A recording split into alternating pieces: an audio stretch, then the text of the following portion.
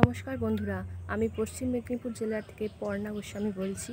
আজকের main topic হলো আম পাতার এই পোড়ার সমস্যাটা।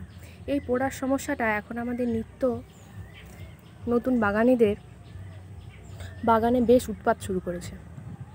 এই সমস্যাটা আসলে দেখা যায় ঠিক দেখবেন শীতের পর, এই যে শীতটা চলে গেছে, বসন্তের হাওয়াটা এসেছে, আর তার মাঝখানে যদি একবারটি বা দুবারটি বৃষ্টি হয়ে যায়, তাহলে আর রক্ষে নেই। আমার এরকম করে দুটো আম গাছ নষ্ট হয়ে গেছে, সম্পূর্ণ নষ্ট। এই পাতাগুলোর সমস্যাটা দেখুন, প্রথমে পিছন দিক থেকে আরম্ভ হয়। হয়ে পুরো পাতাটা পুড়বে এবং উপর থেকে কাণ্ডটা, উপর থেকে ডাইব্যাকটা শুরু হয়ে গোটা গাছে ছড়িয়ে পড়বে। তখন আর গাছটাকে বাঁচানো যাবে না। এতে আমাদেরকে আগে প্রধান কি করতে হবে? এই আক্রান্ত পাতাগুলিকে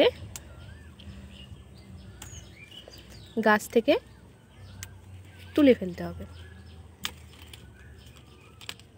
তাতে গাছে যদি একটা পাতাও অবশিষ্ট থাকে সেটাই রাখবেন। বাকি সব আক্রান্ত পাতাগুলিকে গাছ থেকে তুলে ফেলে দেবেন। বাগানের মাঝে নয় পাতাগুলিকে দূরে ফেলবেন।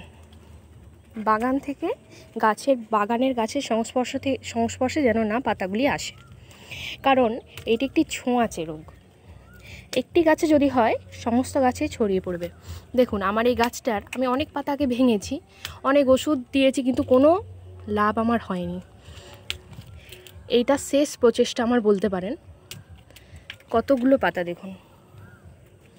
আমাকে পাতাগুলি সবে বাগান থেকে দূরে ফেলে দিতে হবে।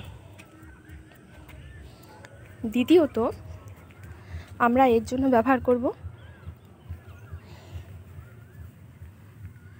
এই ওষুধটি।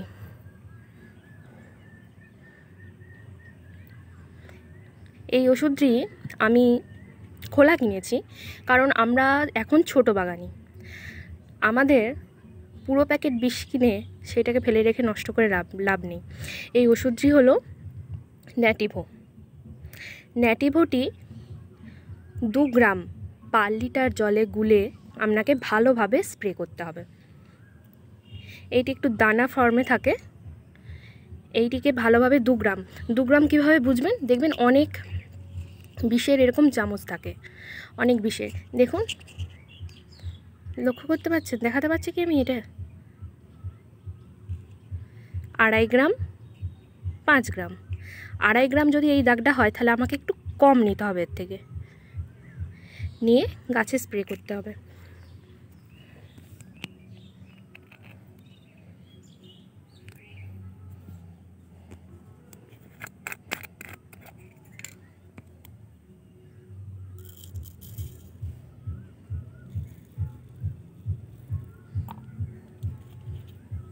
দেখুন। আড়াই গ্রামের কিন্তু আমি দাগে যাইনি। কম আছে। এতে এক লিটার জল আমি নিয়ে নিয়েছি। দিয়ে দিলাম।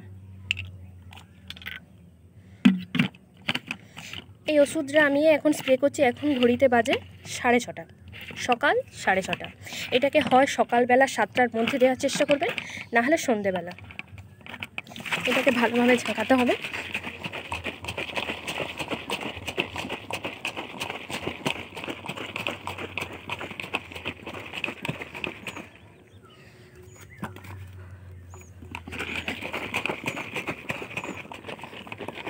যতটা বিষটা ভালোভাবে জলে মিশবে, তবেই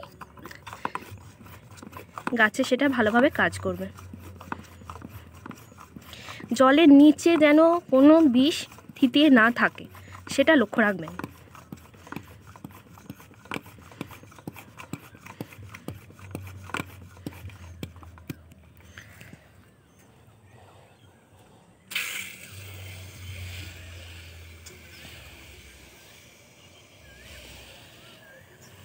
পুরো নিচ পর্যন্ত দেবেন এটা।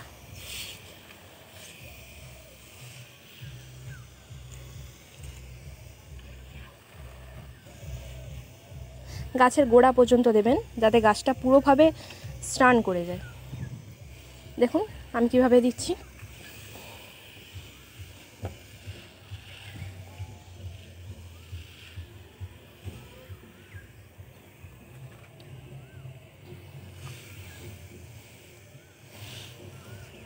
এই গাছগুলির আমার এখনও পর্যন্ত কোনোটিরই এক বছর বয়স হয়নি।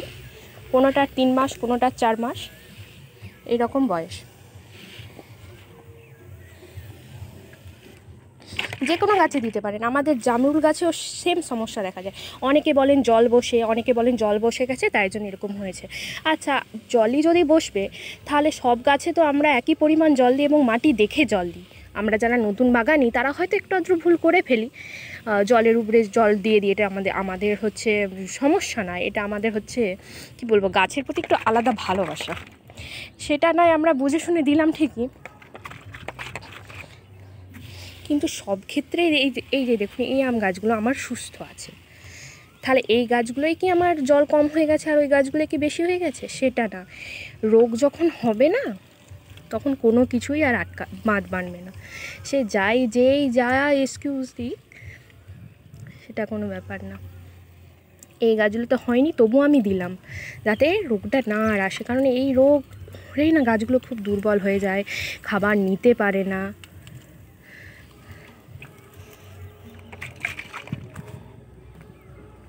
এই গাছটা আমি নতুন কিনে নিয়ে এসেছি, এই গাছটা তো স্প্রে করে দিই। এখন আমার বসানো হয়নি।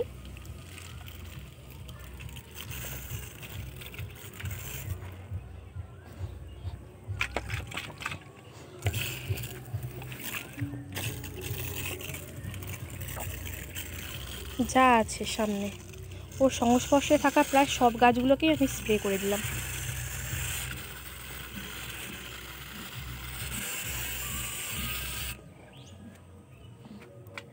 এটা গেল এই রোগ বা সমস্যার প্রথম ধাপ। এর পরের ধাপটা আমি পরের সপ্তাহে বলব। কারণ আপনারা এইটুকুই আগে করুন। এই ওষুধটির নাম কি বললাম? ন্যাটিভো। যে কোনো বিষ দোকান বা সার দোকানে গিয়ে আপনি বলবেন ন্যাটিভো দিতে। তারা দিয়ে দেবেন। এবার আপনি সেটা হচ্ছে পাতাতেও নিতে পারেন মানে ছোট পাউচ প্যাকেও পাওয়া যায় এবং খোলাও পাওয়া যায়। আপনার যেটা সুবিধা, আপনি সেটা নেবেন। নমস্কার বন্ধুরা, যদি ভিডিওটি ভালো লাগে, তাহলে প্লিজ একটা লাইক করবেন এবং সাবস্ক্রাইব করবেন। ফিরে আসছি পরের ভিডিওতে। ততক্ষণ সুস্থ থাকুন, বাগানের গাছকে সুস্থ রাখুন। ধন্যবাদ।